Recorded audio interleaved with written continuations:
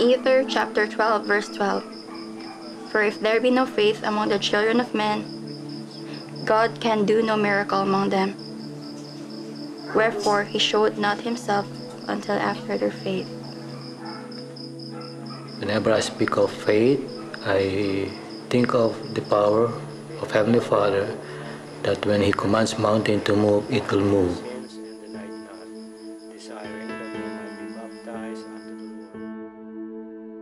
It was last summer and during that time my father was away for work. It was Saturday night and usually when he got his pay, my dad sent us money for everything that we need. And it just so happens that there was only few bills left of the money and it was only two 20 peso bills.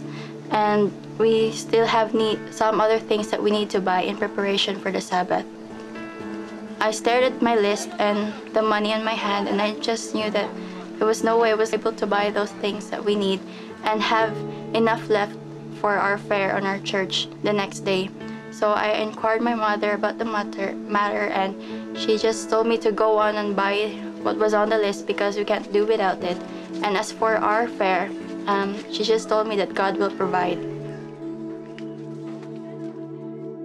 On my way to the store, I was praying that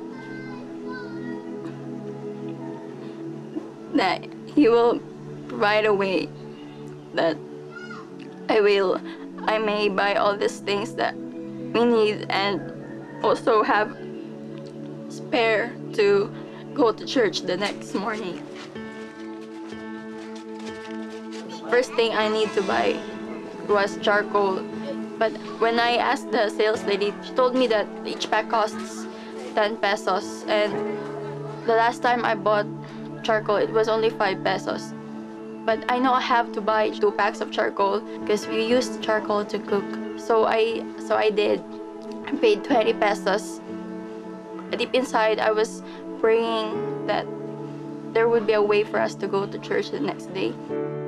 And there's a whisper telling me that go on, buy the things that you need.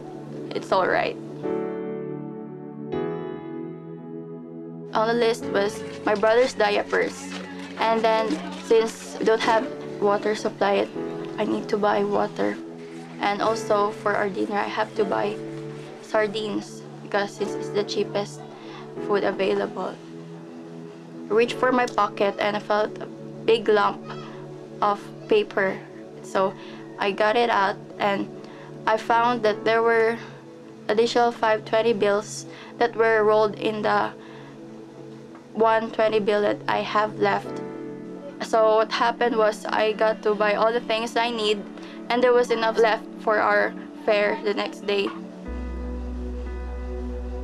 I'm really grateful for the trials that we experienced because during that time I can really feel God's help and God's love and his desire to bless all of his children. And when I got home I I prayed to Heavenly Father and thanked him for the miracle that he has showed that night.